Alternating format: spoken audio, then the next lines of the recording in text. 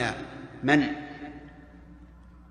عمل عملا سيئا الشرك فما دونه وهو معذور فإنه لا عقوبة له.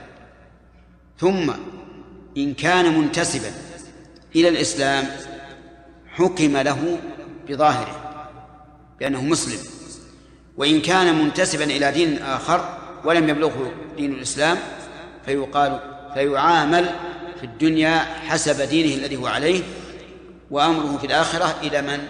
إلى الله عز وجل فصار هذا هو التفصيل في مسألة العذر بالجهل إذا كان يتسمى بالإسلام ويشهد أن لا إله إلا الله وأن محمد رسول الله ويقيم الصلاة ويؤتي الزكاة ويحج ويعتمر ويقول إنه مسلم لكن فيه شيء من الشرك بغير علم عاش في هذا البلد التي فيها هذا الشرك ولا علم أن هذا شرك. فهذا يعامل معاملة إيش؟